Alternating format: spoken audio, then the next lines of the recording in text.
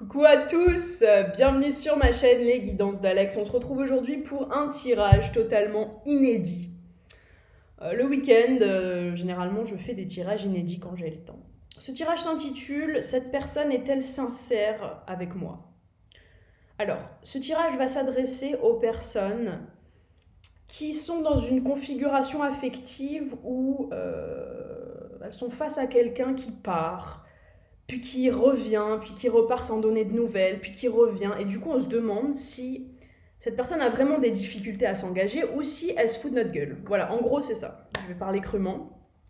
Ce tirage va essayer, tenter de répondre à cette question. Ce tirage ne peut en aucun cas parler à tout le monde. Il va falloir euh, du coup que vous soyez déjà dans cette situation pour euh, être intéressé par ce tirage. Sinon, vous allez un peu vous ennuyer en le visionnant.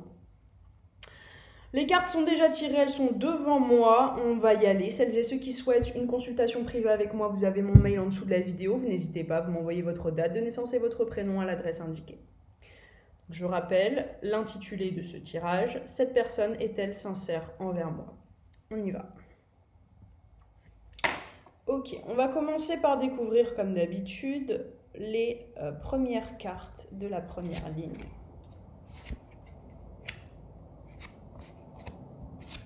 Oh putain, c'est incroyable C'est fou Oh là là, c'est fou. Ok, bon. Alors là, j'ai clairement toute l'histoire qui est racontée en quatre cartes. On a décidé exactement ce que vous voulez afin que cela vous parvienne au plus vite. Donc on a quelqu'un qui est dans une indécision profonde. Profonde. On nous dit que très bientôt, cette personne va se décider, va faire un choix vous concernant. Ce choix concerne une âme sœur. Les cartes insistent et confirment que vous êtes bien l'âme sœur de cette personne, d'accord De cette personne qui est dans l'indécision, euh, qui n'arrive pas à choisir, à vous choisir ou à, choisir son indépendance. Cette personne vous offre du flirt, beaucoup de flirt et d'énergie, de légèreté, d'accord euh, c'est marqué, hein, c'est marqué blanc sur rose. Offrez votre énergie de légèreté aux autres. C'est quelqu'un qui vous offre du flirt, qui ne peut pas s'engager avec vous, qui hésite à s'engager avec vous. Pourtant, les cartes semblent indiquer que vous êtes une âme sœur. La dernière carte, on nous dit quoi? On nous dit quelqu'un vient d'éveiller vos sentiments romantiques. Qu'est-ce que ça veut dire? Nouvel amour. Qu'est-ce que ça veut dire? Éveiller des sentiments romantiques. Éveiller, ça veut dire qu'auparavant c'était en sommeil. Mais ça veut dire que c'était là. Ça veut dire quoi? Ça veut dire que par ces énergies de flirt, à force de vous voir de manière légère, cette personne a commencé à développer pour vous des sentiments amoureux. Il n'en était pas conscient, d'accord? On parle de sentiments en sommeil puisque cette personne se convainc lui-même qu'il ne veut pas s'engager et qu'il, pour le moment, décide de ne pas s'engager, euh, d'offrir des énergies de légèreté. Car on est face à quelqu'un qui ne veut pas souffrir, donc cette personne ne, ne peut même pas émettre l'hypothèse qu'il puisse y avoir des sentiments, parce qu'il rejette totalement cette idée, vous comprenez? Seulement là, d'accord, les sentiments ont commencé à grandir, à grandir même dans l'inconscient. Et arrive le moment où, hop, ça franchit quand même la limite entre le conscient et, entre l'inconscient et le conscient.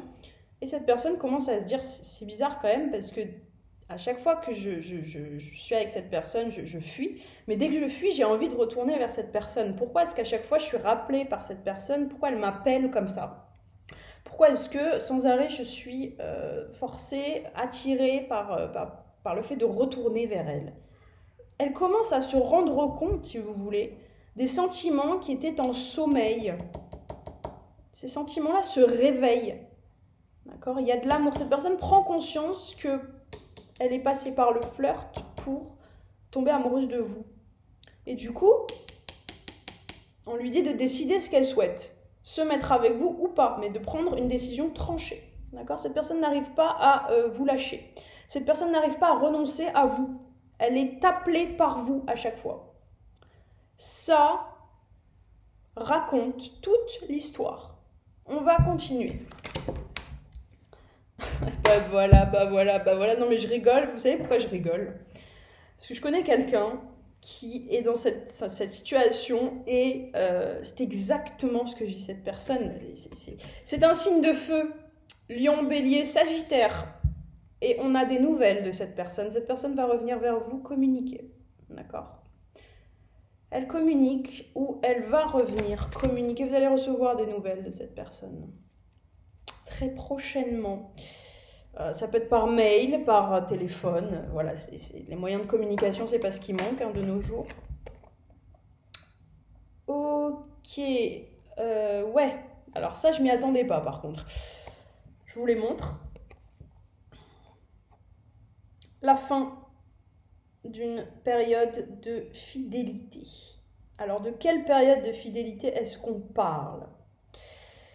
Il n'y avait pas de relation de fidélité. Qu'est-ce que ça veut dire, ça, clairement? Ça veut dire quoi? Ça veut dire que cette personne était amenée, si vous voulez, à répéter toujours le même schéma. On l'a vu, revenir, partir, revenir, partir. En ce sens, on peut parler d'une certaine fidélité. Vous, vous saviez pertinemment que si elle repartait, elle serait amenée à revenir. Voilà, c'est un schéma répétitif qui va cesser et cette personne peut-être va venir vous le dire que ça y est, c'est terminé, qu'elle arrête de vous contacter, qu'elle ne vous reviendra plus. En gros, c'est ça. C'est euh, pour moi euh, ce qui semble le plus évident. Après, tout dépend de la, de la carte réponse qu'on a ici, bien évidemment. Regardez comme c'est contradictoire, c'est très très intéressant ce tirage. Ici, on a quelqu'un qui rejette la fidélité, qui n'en veut pas. Et là, on a quelqu'un qui veut venir vers vous, vous parler et communiquer. Donc là, on a une énergie de je viens. Et là, on a une énergie de je repars. C'est très intéressant ce tirage. Ok, la réponse à cette question qui est, je le rappelle, cette personne est-elle sincère avec moi? Et demeurez positif. Demeurez positif.